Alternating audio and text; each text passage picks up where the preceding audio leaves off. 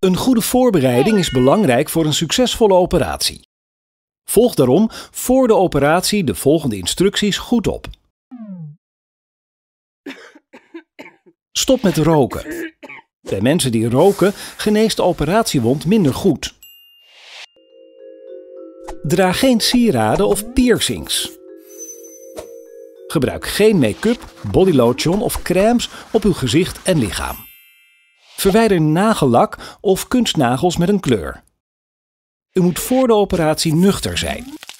Dit betekent dat u voor uw operatie niet meer mag eten en drinken. Oh, Tijdens de operatie kan eten vanuit uw maag uw keel instromen. Dit kan levensbedreigend zijn. U mag daarom op de dag van de operatie niks meer eten. Ook geen soep of bouillon. Heldere dranken drinken mag wel. Bijvoorbeeld water, thee, aanmaaklimonade en zwarte koffie. Suiker mag wel. Drink geen melkproducten, sappen, koolzuurhoudende dranken of alcohol. Vanaf twee uur voor uw operatie mag u niets meer eten of drinken. Medicijnen die u mag blijven gebruiken, kunt u dan met een klein slokje water innemen. Volg deze instructies en u gaat goed voorbereid naar het ziekenhuis.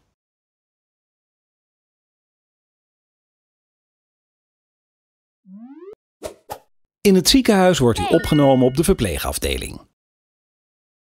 Hier krijgt u van een verpleegkundige een operatiejasje en een polsbandje met erop uw gegevens. Voor uw kleding en eigendommen zijn er kluisjes aanwezig. Laat uw waardevolle spullen zoveel mogelijk thuis. U kunt plaatsnemen in bed tot u aan de beurt bent voor de behandeling. Vervolgens wordt u naar de voorbereidingsruimte gebracht. hey. Hier krijgt u een infuus, een bloeddrukmeter om uw bovenarm, plakkers op de borst voor bewaking van het hartritme en een knijper op de vinger voor het meten van het zuurstofgehalte. U maakt kennis met het anesthesieteam. Zij begeleiden u tijdens de hele operatie. Bij een plaatselijke verdoving wordt deze mogelijk hier al geplaatst. U wordt naar de operatiekamer gebracht. Hier neemt u plaats op de operatietafel.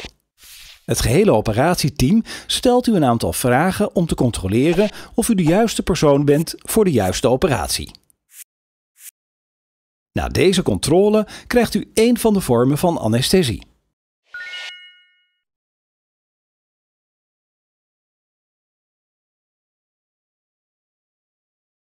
Spinale anesthesie of ruggenprik is een vorm van regionale anesthesie. Soms wordt deze verdoving gecombineerd met een lichte slaap of roesje.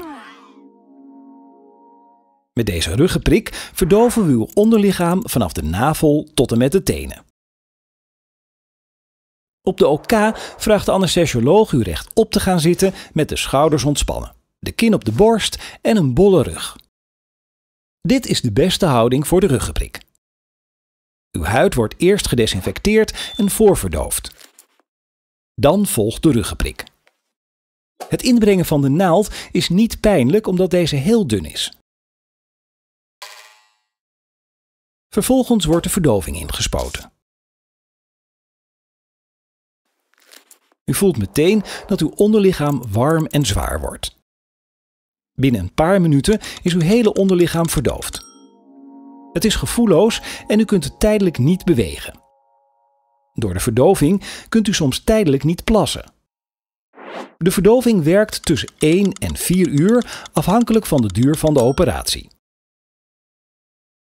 De verdoving wordt gecontroleerd en hierna kan de operatie beginnen. U krijgt soms een roesje. Wanneer de verdoving uitwerkt, komt de kracht en het gevoel in uw onderlichaam geleidelijk terug.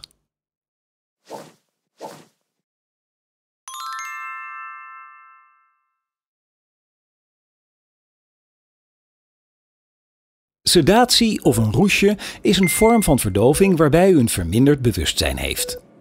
U maakt daardoor weinig tot niets mee van de ingreep. De sedatie kan uiteenlopen van een lichte slaperigheid tot een diepe slaap. Sedatie kan op uw verzoek worden toegediend als aanvulling op de regionale of plaatselijke verdoving. U kunt hier tijdens de hele operatie om vragen. Via het infuus wordt de slaapmedicatie toegediend. U voelt geleidelijk de slaapmedicatie inwerken en u valt rustig in slaap. Pas wanneer u slaapt mag de behandeling beginnen. Bij sedatie blijft u zelfstandig ademhalen. Vaak is er wel extra zuurstof nodig. Dit krijgt u via een slangetje bij de neus.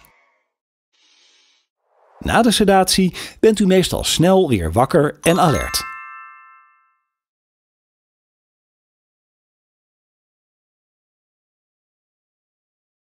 U wordt na de operatie naar de uitslaapkamer gebracht.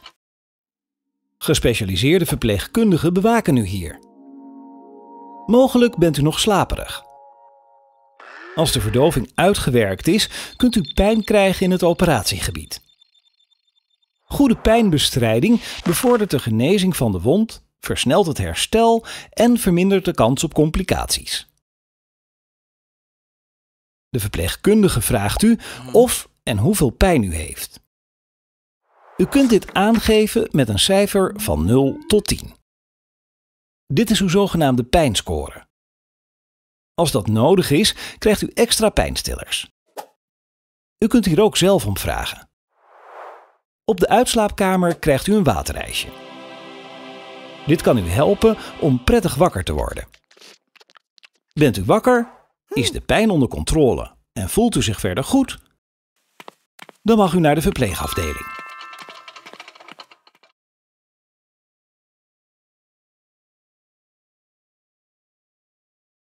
Hoeft u na de operatie niet in het ziekenhuis te overnachten? Dan zijn er een aantal zaken waar u rekening mee moet houden als u naar huis gaat. Hey. Van een verpleegkundige krijgt u persoonlijke instructies voor uw nazorg. De medicijnen die u hebt gekregen kunnen uw reactievermogen nog een aantal uren beïnvloeden, ook al bent u wakker. Bestuurder om de eerste 24 uur beslist geen auto, fiets of ander voertuig. Bedien geen machines en neem geen belangrijke beslissingen. Zorg ervoor dat een begeleider u naar huis brengt. U mag de eerste nacht na de dagbehandeling niet alleen thuis zijn. Woont u alleen? Vraag dan of een naaste een nachtje bij u logeert. Deze kan dan bij eventuele problemen of dringende vragen contact opnemen met het ziekenhuis. Heeft u thuis nog veel pijn? Gebruik paracetamol of pijnstillers die uw arts heeft voorgeschreven.